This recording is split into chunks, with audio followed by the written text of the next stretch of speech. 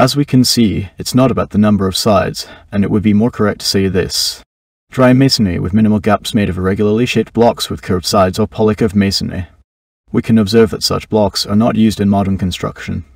Standard lot blocks or curved shapes exist, but polycurved blocks have a diverse, unique appearance, ranging from those close to parallelopipeds to more complex forms. Since the term polygonal has not yet gained academic completeness, we will sometimes continue to use it along with polycurved. We will understand polygonal primarily in terms of the shape of the block sides, observing curved polygons along the perimeter, and we will associate it with Peru. In addition to curvature, other characteristics of polycurved masonry include the bottom row of blocks always contains traces of jointing bedding joints in the form of removed rock volume. Because of this, the exposed top part of the masonry row is not flat, it is covered with traces, which sometimes allow for partial reconstruction of the former appearance of the blocks in the upper row. In cases where the masonry is in contact with a rocky foundation when the blocks are removed, the traces are also clearly visible.